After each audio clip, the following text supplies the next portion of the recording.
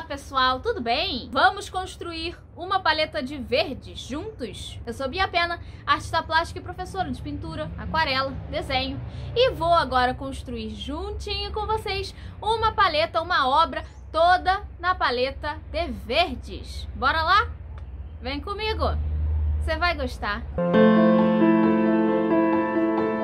Bem, pessoal, primeiro nós precisamos entender que o verde é composto a partir de duas cores, da junção de duas cores, que são o amarelo de um lado e o azul do outro. Então vejam aqui que eu tenho o meu papel, eu deixei um, um espaço reservado na parte superior para a confecção da minha obra e abaixo eu vou construir a paleta que vão ser justamente essas cores que eu estou construindo que vão me permitir colorir esse desenho. É sempre muito útil a gente construir assim uma paleta para a gente não se perder. Então a gente vai usar aquelas cores e ficar, se restringir ao uso delas. Assim a gente não fica bagunçando aquela bagunça de cores, aquela montoeira de cores que às vezes a gente até se perde. Então é muito bom construir uma paleta para a gente focar, para a gente direcionar a nossa mente. Para confeccionar essa paleta, eu vou usar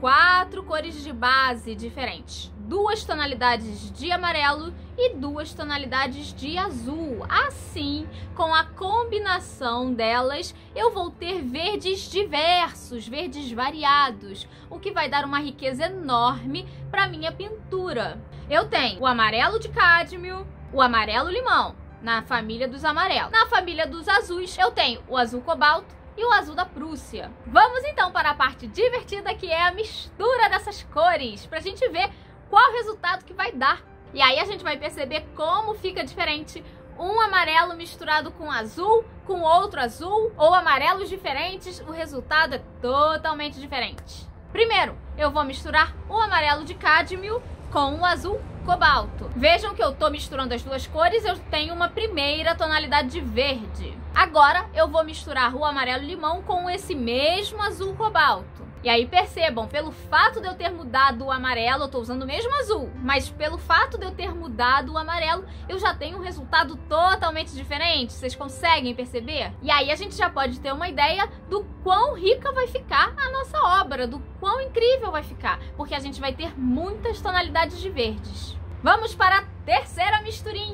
Agora eu vou usar o amarelo de cádmio, mas eu vou para o outro azul, que é o azul da Prússia. Vejam como o azul da Prússia ele é bem mais profundo, mais fechado, e isso faz com que o verde fique também mais fechado e também diferente. Agora eu vou misturar o amarelo limão com o azul da Prússia novamente. E aí eu já tenho uma outra tonalidade de verde. Para finalizar os verdes, eu vou misturar agora os dois amarelos, o amarelo de cádmio com o amarelo limão.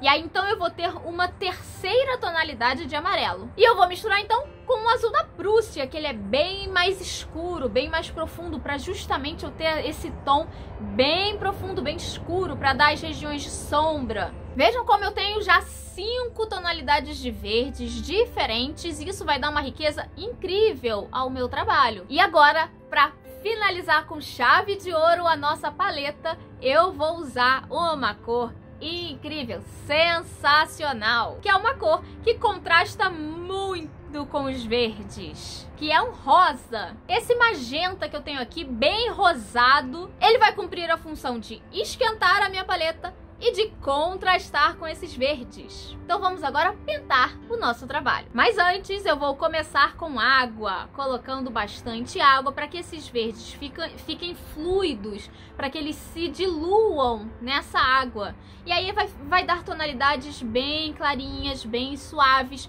justamente com a intenção de estar rebaixado, de estar lá para trás, enquanto que eu vou deixar as cores mais vivas para o primeiro plano. Percebam como eu estou equilibrando os pontos de verdes? Então, se eu coloco o verde num numa ponta, eu coloco na outra ponta oposta o mesmo tom de verde. E assim a gente vai brincando com o equilíbrio desse fundo. Como sempre, na aquarela a gente vai do mais claro para o mais escuro, sempre. Essa é a regrinha de ouro da aquarela. E aí eu vou aos pouquinhos acrescentando as cores e dando mais vida ao desenho. E sempre tendo aquela mistura de base que eu coloquei embaixo. Vão ser essas cores que serão as minhas referências. Então, ora eu misturo o amarelo limão com azul cobalto, Ora eu, eu misturo amarelo de cádmio com azul da Prússia. Quando eu quero dar mais profundidade ainda, eu misturo os dois amarelos com azul da Prússia.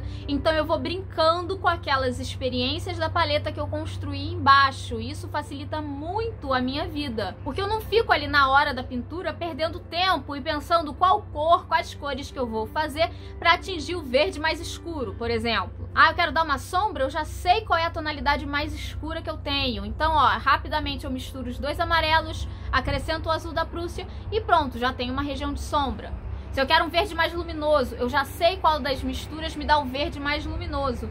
E assim eu vou rapidamente encontrando as cores. Vejam como isso facilita a nossa vida. Em alguns momentos eu coloco mais amarelo, em outros momentos eu coloco mais azul. Não tem uma regra, eu não preciso me restringir a tantos por cento de amarelo, tantos por cento de azul. Não. Ora eu boto um pouquinho mais de amarelo, ora um pouquinho mais de azul.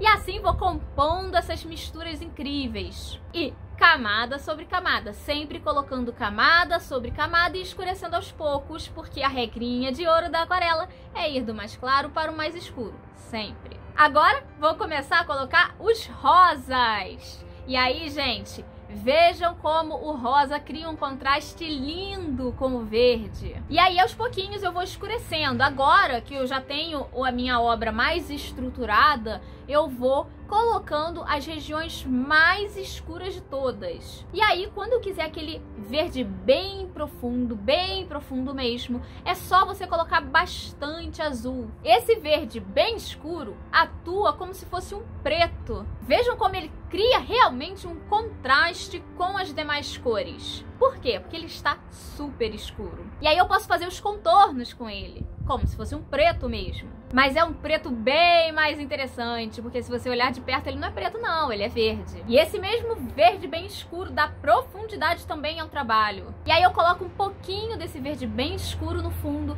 para dar unicidade, para dar uniformidade, para que ele converse com a figura em primeiro plano. Já temos então aqui a nossa obra prontinha, finalizada. Vejam como ela ficou bem interessante, vejam como ficou com bastante profundidade. Vejam como as sombras ficaram bem intensas. Ou seja, a gente consegue, com verdes, criar uma paleta incrível e ainda dar esse toque colorido com rosa. Olha só que legal! Então é isso, pessoal. Espero que vocês tenham gostado. Espero realmente ter contribuído um pouquinho para o desenvolvimento de vocês. E não esqueçam, curtam as nossas redes sociais, o Facebook, Instagram.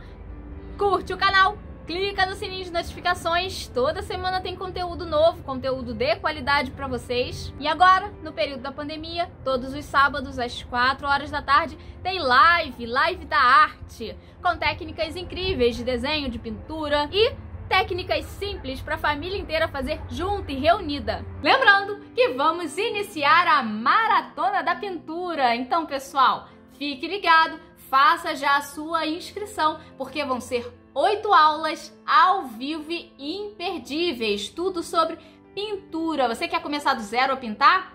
Vem para a Maratona da Pintura. Ó, o telefone vai estar na descrição deste vídeo. Então é isso. Aguardo vocês no próximo vídeo. Beijo grande. Tchau, tchau.